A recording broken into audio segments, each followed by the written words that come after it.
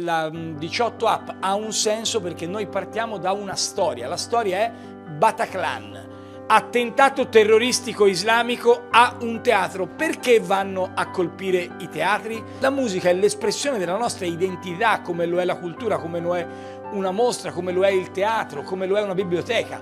Uccidere la musica, imporre il silenzio, è rendere le persone incapaci di vivere con entusiasmo e con la bellezza. Per rispondere a questa crisi che colpisce l'identità di quello che noi siamo, va benissimo, ci siamo detti, giocare la carta della lotta all'estremismo, della ehm, presenza di forze dell'ordine, tutte le cose che sapete, ma ci siamo anche detti, vogliamo a tutti i costi avere un eh, segno della nostra risposta identitaria e culturale, cioè un euro in sicurezza, un euro in cultura.